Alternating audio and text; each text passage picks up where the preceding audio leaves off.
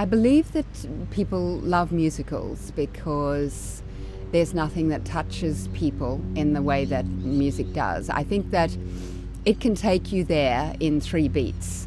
What can take you um, to get somewhere emotionally, or in happiness, or sadness, or the blues, or a broken heart, or anything that you're going through, the fastest path to that is music. And because of that, I think that it affects people on a, on a, a very um, immediate, um, kinesthetic kind of level, and they can get there like that.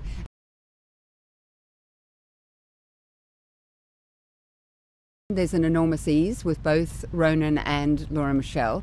They both have such, you know, they just have God given talents and they can sing anything.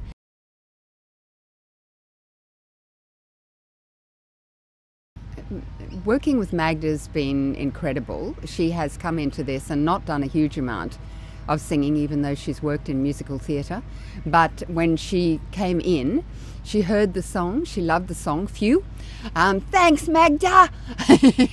um, and uh, she said, I want to have a go at this, I want to do this song, um, and I think I can do it. And she came in and she just simply nailed it.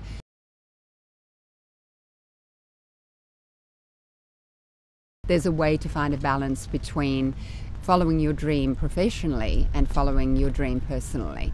And I think that that is what the film will give people.